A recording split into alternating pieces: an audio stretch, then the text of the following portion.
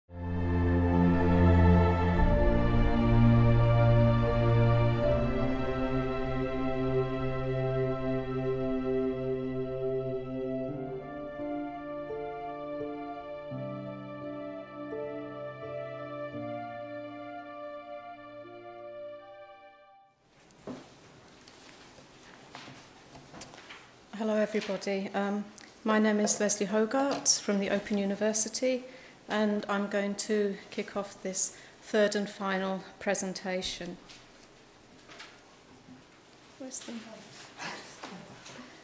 Thank you. So we're introducing a little bit of a comparative element here um, and I'm going to look at women's experiences of abortion in, in Britain and then um, Professor Sally Sheldon is going to look at issues over Northern Ireland and Ireland. So to start off with, what I'm going to do is to talk you through some issues from um, a research study in Britain that finished about just over a year ago. I'm not going to dwell here on the methodology of that study. Um, I'm just going to tell you that this was a well-designed study. It was very robust.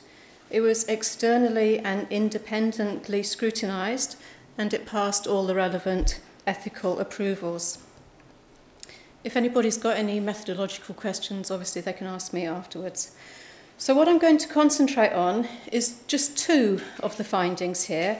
As you can imagine, this was quite a large study, so we have a lot of findings, and I could spend a long time talking to you about them, but I'm not going to do that. I'm going to pick out two of the findings of particular relevance to the discussion that we're having today. And those are findings around abortion stigma that has already been raised, um, and findings around women's experiences of medical abortion, the abortion pill. Um, and there is a connection between these two sets of findings.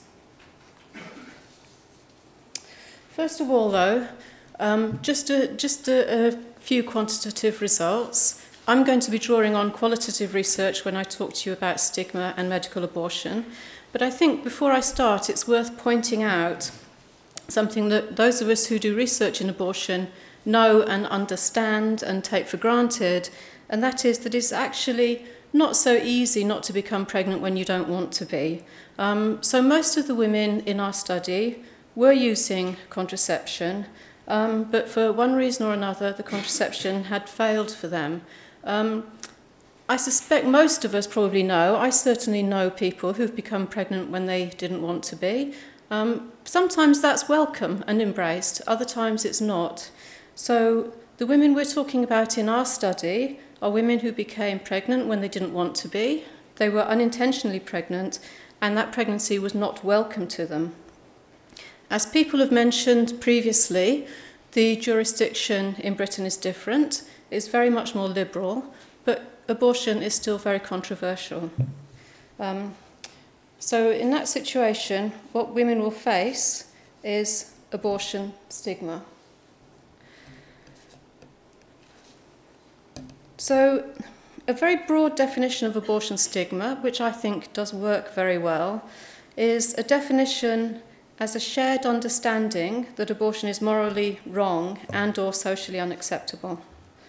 Um, in our study, women did feel stigma to varying degrees. Many women shared this definition themselves, um, many women who experienced abortion themselves. And I'm just going to look a little bit now in a bit more detail um, at some of the issues around abortion stigma. So stigma is voiced through expressions of shame, and of blame. And I'm just going to give you a, um, a sense of some of the things that the women said to us. So, um, women blame themselves. I'm going to read you out what somebody said to us um, in the research. So, Natasha said, I just felt like a bit of a slapper. You're 18 and you're pregnant. That's disgusting to start with, you know, and I guess a few of my friends had done that and become pregnant and had children. And I was just thinking, like, what are you doing? And I, I did really judge them. And then I was there in the same boat, and I was so embarrassed. So Natasha had been using contraception, and she had actually used emergency contraception. Um, she still became pregnant and she had an abortion. And here she's blaming herself for the situation in which she was in. Another example um, of women feeling shame, Laura said to us, Every time I think about it, I feel ashamed of myself. And I think that's just because that's how it's seen, isn't it? It's seen as quite, like it's quite, I don't know, I don't know whether this is just my opinion, but quite like a shameful thing to do. So this sense of having done something wrong is internalized by, by many women. And this is very much associated with um, concealment, concealing the fact that they may have had an abortion. Now, in our study, most of the women who felt that they wanted to conceal their abortion actually selected to have a surgical abortion. Um, you can choose between a surgical or a medical abortion. But I just want to read you what I think is um, a very interesting quote about concealment and then also non concealment. So Fern told us, I was more scared of if people found out what they think of me. Because society nowadays is terrible. A girl does one thing and she's got a name for life, and it's just not fair. I was more scared about what people my own age were going to say. So here she's talking to us about concealing her pregnancy from people around her, concealing her abortion from people around her. But then she goes on to say, But all the people that I did tell, all my close friends that I did tell, were all really supportive, and I didn't expect that. I thought they'd all abandon me and they wouldn't want to know me anymore. So, this I think is very interesting that she's moved from a position of concealment to non concealment, and she's talking about how beneficial that is for her. So, in our research, we clearly identified that social support and non-concealment weakens abortion stigma and makes it very much more easy for women to deal with their position. Okay, finally, just to end up with why I think this is important for experiences of medical abortion. Uh, people have mentioned already that medical abortion is a very safe, effective form of abortion if the abortion pills come from a reputable supplier. However, there are side effects, and some women struggle to deal with those side effects. In our study, the women talked to us about experiencing the side effects, feeling very ill, feeling in a great deal of pain. But these women were able to phone up the clinic. They were able to get support from people around them. Um, so although the side effects were difficult for them, the social support they had and their ability to go to the clinic and gain clinical advice and support was very important. So in other words, non-concealment was important for their well-being and for their health. Um, and with that, I'm going to hand over to Sally. So I want to talk to you about um, a small part of a larger study that looked at the legal implications right. Mm. of the availability of abortion pills for regulatory frameworks, both in settings where abortion is legal, um, looking at England, Wales and Scotland, and in situations where access to abortion is severely legally restricted, looking at um, Northern Ireland and the Republic of Ireland. Um, the research was primarily library-based, but I did also do a small number of interviews, 22 interviews, with key actors. And they were specifically de designed to allow me to find out more about what was happening on the ground in countries where um, abortion is illegal and the pills are in use. So I talked to um, members of Women on Web and Women Help Women, which are organisations that are involved in supplying abortion pills, um, to Northern Ireland. I talked to um, local activists who are supporting women. I talked to family planning associations and I talked to a small number of um, government officials. So what did I find about that? Well, the, the first thing to note is that historically, um, robust data regarding the number of women who are using abortion pills in illegal settings has, for obvious reasons, been very limited.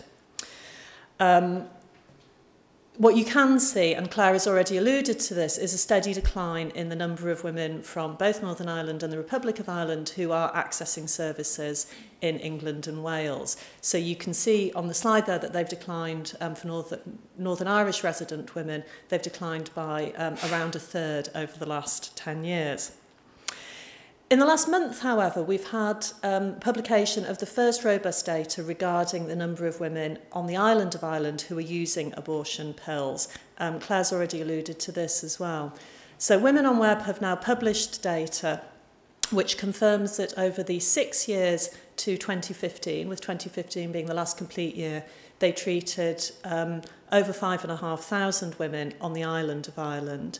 Um, and they've noted a very steady increase in those, um, those figures over the years. So um, over 1,500 women on the island of Ireland in 2015 were sent abortion pills by that one organisation.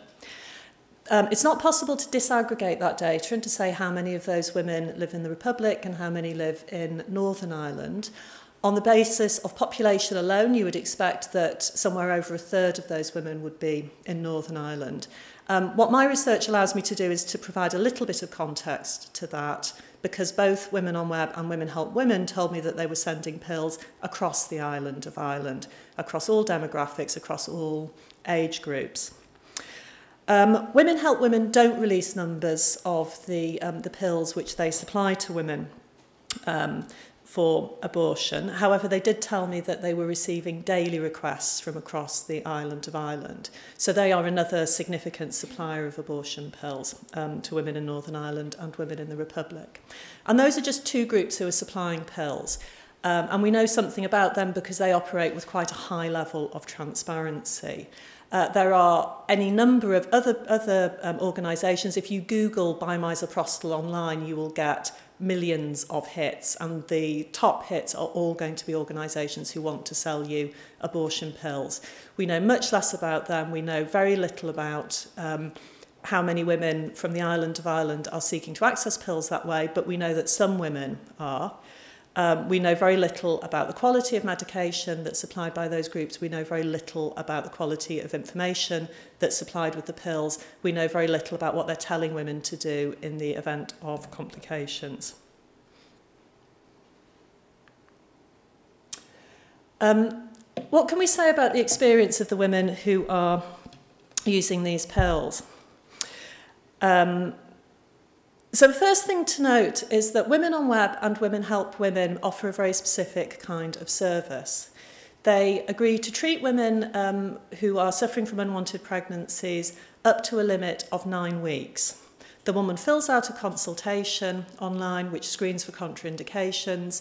She is sent authentic medication from a um, reputable uh, regulated supplier in another country. She's given clear instructions for how to use um, those pills, and she's told very clearly what to look out for and when she might need to seek medical, further medical treatment. So within the limitations of a telemedical service, this is a very safe service that's been offered. Um, it's important to note that caveat. So with a telemedical abortion service, the service stops at the moment that a miscarriage is provoked. Women need to be able to access local health care in the very small number of cases where something will go wrong, and they need to know when to, when to do that. But within those limitations, this is a very safe um, service. And we also now, now know with the publication of the Women on Web data last month that this is a service which is very acceptable to women on the island of Ireland. So the women who completed the service evaluation after using this service um, overwhelmingly um, said that they, they found it acceptable um, and they overwhelmingly said that they would recommend it to somebody else in the same situation. Um, We haven't as yet got any robust data which compares women's experience of using the pills illegally in um, Northern Ireland with the experience of using them legally elsewhere. And there's very important research currently being done at the University of Ulster which will speak to that, uh, to that gap. Um, so we know that this is a safe service. We know that women are saying that it's acceptable. However, in, particularly in light of the findings that Leslie's just talked about, I think it's important also to acknowledge that the illegality of home use is going to add to stigma and potentially feelings of isolation around, around that use. So there's two basic facts there that I think are significant um, for policymakers. The first one is that abortion pills are in use in Northern Ireland in numbers that are significant. Um, we know that, and particularly with the publication of the Women on Web data, I think that, that is now undeniable. The second fact that we know is that there is a clear disparity between the different organisations who will supply pills. Women on Web, Women Help Women, um, operate transparently. They're operating using a received um, medical treatment protocol, which is uh, clinically evidenced to be extremely safe. They supply high quality information. They tell women what to do if something goes wrong. And they have data to uh, back up the safety of that, that service. Other regulators are not necessarily operating according to that model. They may not be sending authentic medication. They may not send anything once a woman has paid, and we know, we, we know very little about them and the women who are being treated by them. So on the basis of those two facts, what are the implications for policy? Um, well, the first thing to note is that the current criminal legal prohibitions on abortion are very weakly enforced in um, both Northern Ireland and the Republic of Ireland. Now, it may be that we're at the beginning of a, a trend for that to change. So there's been one prosecution of a young woman who had um, self-induced determination using pills accessed online. There are um, at least two, and I'm told possibly three other cases in the, in the pipeline at the moment. Um, but it would still be absolutely impossible for those prohibitions to be enforced in anything other than a highly selective and inconsistent way um, because it's impossible to stop a small blister pack of pills being brought into a jurisdiction. And it's incredibly difficult to detect when that's been used, and it's even more difficult to prove when that's been used. So the criminal law prohibitions are never going to be able to end access to, um, to the use of abortion pills. Um, And one thing to note on uh, attempts to block the importation of abortion pills as well is that those any such attempts are much more likely to interrupt the flow of pills coming in from reputable suppliers than they are to be able to interrupt the supply of pills coming in from less scrupulous suppliers. And that's because um, Women on Web and Women Help Women work with uh, companies that comply with local pharmaceutical regulations. They, they ship the medications in a way that is um, packed very distinctively so as to be tamper-proof, and they are very readily identifiable. If you shut down that supply, um, you're going to find it much more difficult to shut down the supply of pills coming in from elsewhere which may not be packaged so visibly because the manufacturers aren't complying with local regulations and if they're not complying with that local regulation then possibly they're also much less likely to be sending authentic medication. Um, and if you do interrupt that supply, obviously you also have the possibility that you're delaying a woman who will seek a termination anyway, so she will be ending that pregnancy later, or um, possibly even women will be resort, uh, resorting to more desperate means. Um, I think there's a case for making much better information available to women. So um, Claire, I think, also alluded to the fact that the most recent iteration of the DHSSPS guidance now recognises for the first time that abortion pills are in use in Northern Ireland. Um, Northern Ireland still hasn't done very much to make any kind of public official information available to, to women about abortion pills. And actually, if you look at the Republic, they've done an awful lot more um, to do that, but, but not always um, with the best quality of information. Um, where women aren't given that information from official sources, they're going to access it from unofficial sources. So that might be from the, the internet, it may be from friends, it may be within local communities. There's some very good quality information about abortion pills on the internet, but there's an awful lot of rubbish out there as well. And navigating your way through that is quite difficult. So there is a real gap there, I think, where um, policymakers within Northern Ireland could make a real difference, where official guidance could be um, issued, which would really tell women a lot more about the um, about abortion pills, about the, the safety levels and the risks of abortion pills and what they need to, to look out for.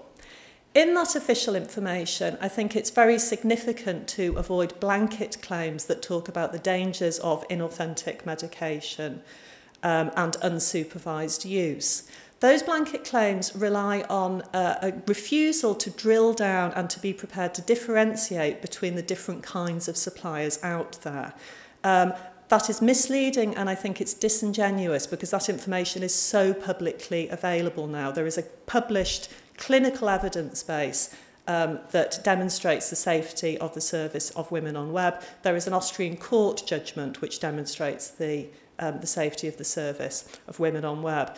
Um, so I think it's wrong for policymakers and official guidance to rely on those blanket claims, and I think it's wrong for um, media reporting to rely on those, those blanket claims.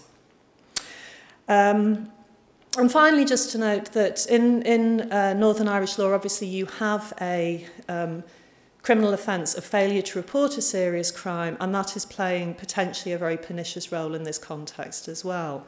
The public health argument would be to get women um, in to talk to their doctors, to talk to healthcare providers, to talk to family planning specialists um, and to be able to talk openly about um, their decisions, about any problems that they're having. That specific provision in the criminal law is clearly playing a significant role in disincentivising um, full disclosure in that situation. Now, if the woman has accessed pills from Women on Web or Women Help Women, Um, that probably isn't posing any clinical risks to her because she's presenting with a miscarriage or an infection after a miscarriage, and that will be treated in exactly the same way, whether that's a spontaneous miscarriage or an induced one. However, um, that is introducing deception into the medical relationship and it's potentially increasing the anxiety of the woman who is already in an anxious situation.